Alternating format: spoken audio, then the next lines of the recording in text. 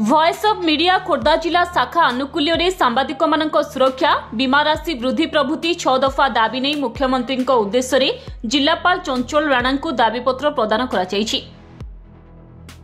ରାଜ୍ୟ ସଭାପତି ପ୍ରଭାତ ମିଶ୍ରଙ୍କ ନେତୃତ୍ୱରେ ଏକାଧିକ ଛାପା ଓ ବୈଦ୍ୟୁତିକ ଗଣମାଧ୍ୟମ ପ୍ରତିନିଧିମାନେ ଜିଲ୍ଲା ସୂଚନା ଓ ଲୋକସମ୍ପର୍କ ବିଭାଗ କାର୍ଯ୍ୟାଳୟଠାରେ ଏକାଠି ହୋଇଥିଲେ। ସେଠାରୁ ଏକ ଶୋଭାଯାତ୍ରାରେ ବାହାରି ଜିଲ୍ଲାପାଳଙ୍କ କାର୍ଯ୍ୟାଳୟ ଆଗରେ ପହଞ୍ଚିଥିଲେ। ପରେ ଏକ ପ୍ରତିନିଧି ଦଳ ଜିଲ୍ଲାପାଳଙ୍କୁ ଦାବିପତ୍ର ଦେଇଥିଲେ। ଦାବିଗୁଡ଼ିକ ମଧ୍ୟରେ ରାଜ୍ୟରେ ସାମ୍ବାଦିକ ସୁରକ୍ଷା ଆଇନ ପ୍ରଣୟନ କରାଯାଉ।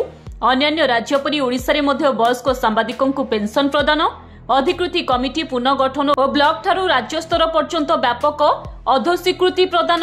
ପ୍ରଚଳିତ ସ୍ୱାସ୍ଥ୍ୟ ବୀମା ଯୋଜନାରେ ପିତାମାତା ତଥା ପଚିଶ ବର୍ଷରୁ ଉର୍ଦ୍ଧ୍ୱ ବୟସ୍କ ନିର୍ଭରଶୀଳ ସନ୍ତାନମାନଙ୍କୁ ସଂଶ୍ଳିଷ୍ଟ ମିଡିଆ ଏକାଡେମୀ ଗଠନ ସହ ରାଜଧାନୀ ଭୁବନେଶ୍ୱରରେ ଏକାଡେମୀ କାର୍ଯ୍ୟାଳୟ ସ୍ଥାପନା ଦଶ ବର୍ଷରୁ ଉର୍ଦ୍ଧ୍ୱ କାର୍ଯ୍ୟରତ ସାମ୍ବାଦିକମାନଙ୍କୁ ଲୋକସେବା ଭବନକୁ ପ୍ରବେଶ ପାଇଁ ପ୍ରବେଶପତ୍ର ପ୍ରଦାନ ଦାବି କରିଛନ୍ତି। ଖୋର୍ଦ୍ଧାରୁ ପ୍ରଭାତ ପାଣିଗ୍ରାହୀଙ୍କ ରିପୋର୍ଟ ଧରିତ୍ରୀ ଲାଇଭ୍।